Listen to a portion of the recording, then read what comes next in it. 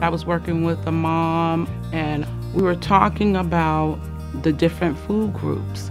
And I started telling her that your plate should be really colorful. And she said, colorful. And I, and I told her, I said, yeah, you have vegetables and a variety of vegetables. And she told me, well, my plate looks like brown. And so I said, brown, what do you mean? She says, normally I eat hot dogs and beans and white bread. And she started to tell me she had a whole lot of issues with constipation, bloatiness.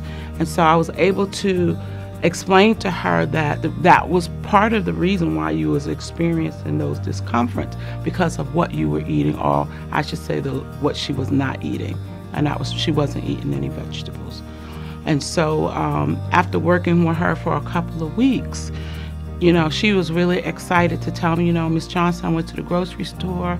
I got some vegetables, and my plate is looking more colorful, and I'm starting to feel better because she was making those changes.